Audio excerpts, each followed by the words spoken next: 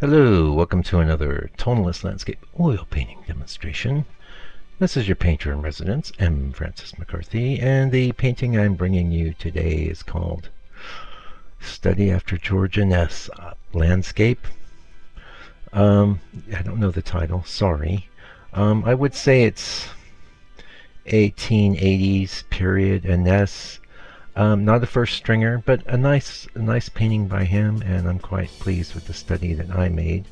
Um, the challenge on this one was to, um, the, the, whole bottom area, he does that Inness thing where there's a bunch of nothing. I mean, really nothing. It's just um, variations in, in tones and dark. And there's a lot of stuff sort of kind of indicated, but he's kind of doing his two tree thing, except the a lot of time when, when he does this two tree thing, that tree that's in the the foreground, fore middle ground, it's not all the way in the foreground, you know, the front middle. Um, there's only one tree there. A lot of times that would be two trees, but obviously you can see just from my drawing stage um, kind of his compositional symmetry and really what made um, Inness great is well, so many things. His color, his composition, his technique, um, his paint application, everything. But his composition, almost more than anything else, I think is what makes uh, totally unique. And one of the things that I'm most trying to um,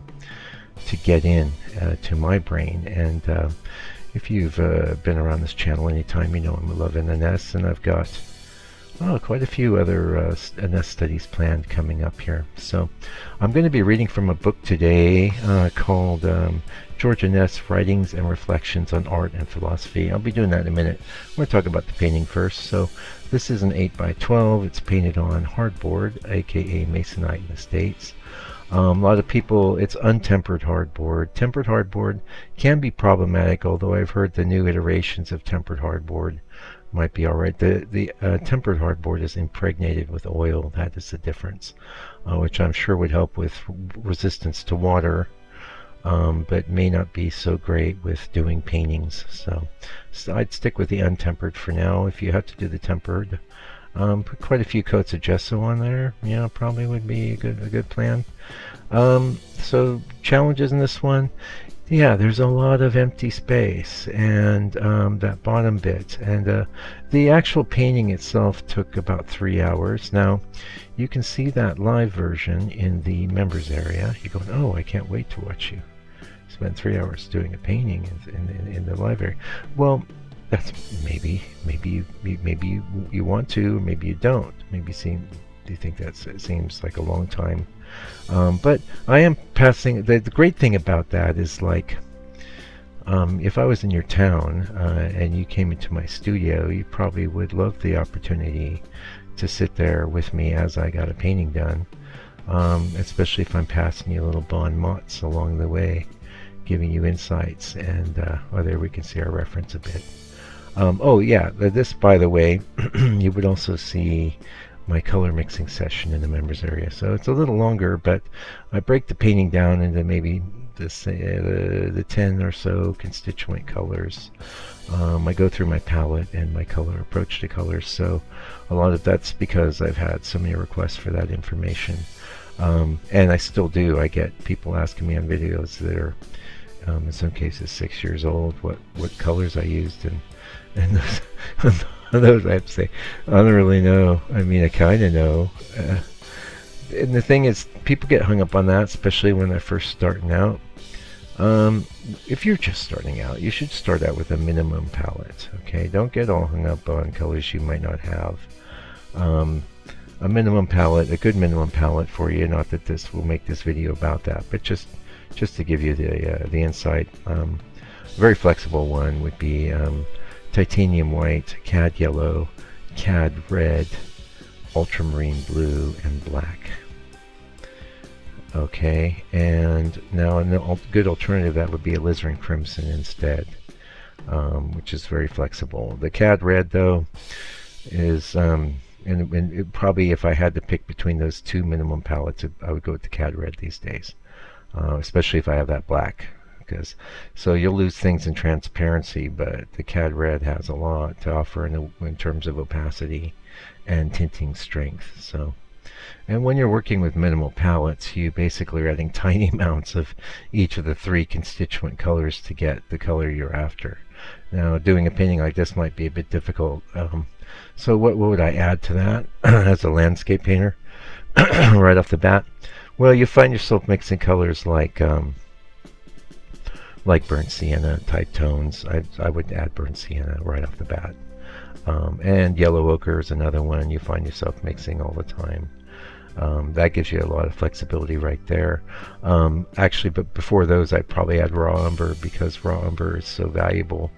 Um, well, actually, raw umber is very valuable with the way I normally work, but if I'm working with a minimal palette, everything gets kind of based on those three colors anyway, so uh, I wouldn't need as much raw umber, but raw umber would be in there as, as, as I started marching into um, regular palette type territory.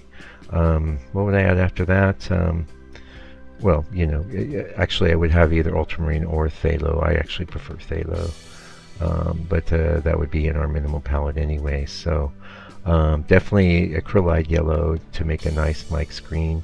You can get a nice green by mixing, you can get an okay green by mixing uh, cad yellow and black, but it's a bit chalky compared to the the Mike's green you would get with arylide yellow and ivory black. Um, and you know, a lot of people's minimum palettes, they don't even have black, you know. Um, but I, I, I, like black and I, I use it. So uh, anyway, we don't want to, we went already spent a few minutes on that, but just throwing it at you. So, um, and uh, we talked about the challenges and you can see where we're proceeding here. And you'd have a full insight into the co actual colors I used to accomplish this painting. Like I said, if you subscribe to the members area, which is uh, six bones, six bones a month, and I do my best to make that there's over a hundred live painting sessions there, so you really get the uh, the meat and potatoes of what I do. Anyway, let's read a little from this book. We're almost at the halfway point of the video, and I it's it's a whole letter uh, from him. So um, he wrote a letter on impressionism um, to. Um, ah, he's replying to an article published in a newspaper, and um, this is his letter. Um, Mr. Inness on art matters. Now, he was very famous in the States, and he often wrote to the newspapers about art. Um, but this is a letter on Impressionism, and um, he criticized Impressionism because it rose, in his words, from the same skeptical scientific tendency to ignore the reality of the unseen. Now, there's a lot in that sentence and I'm going to unpack that real quick for you. He was a big believer in painting the unseen reality behind reality, and that's uh, um, a goal that I share in common with him. Um, and it's not an overt thing; it's an intuitive thing. So, um, if you're not an intuitive type artist, it might just seem like a bunch of um, bollocks to you, you know. Anyway, let's go on. Uh, later in the interview is art and his religion. Uh, that's on page. Da, da, da, By the way, we're reading from page 130 in this book.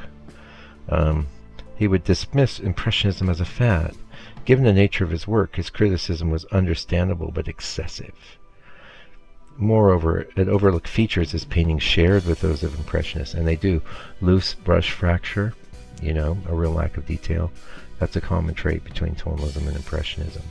So focus on big shapes. That's a really big thing too. In fact, you will see uh, sections uh, on George Inness in books on quote unquote American Impressionism. So, um, overlook fee. So, both Inness and the Impressionists presented alternatives to the academic traditions of mimetic, historical, literary, and mythological representations. Both revealed a new dynamic style of brushwork that led many critics to censure their works as unfinished or worse. However, Inness's allusion to the reality of unseen is telling and resides at the heart of his objections.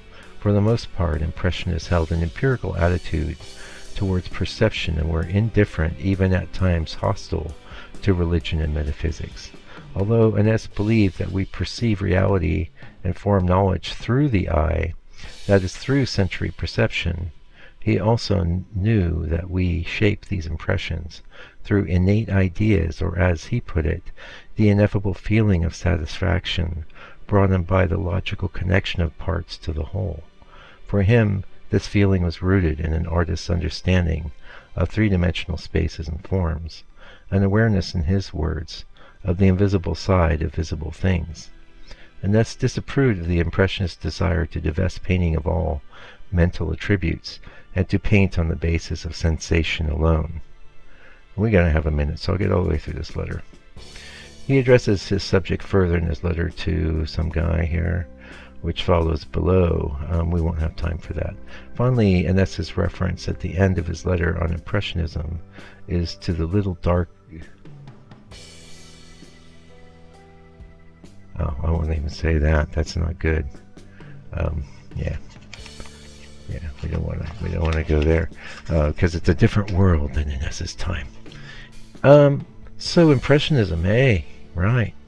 Well, the thing is with Impressionism, it's very much about capturing the vibrance and intensity of light as it's uh, as it's viewed in the natural world, and it does this using a fairly minimal approach to color. You don't mix a lot of muddy, dark, dirty colors. You put bright colors next to each other, and they create the color um, effects and harmony and light effects.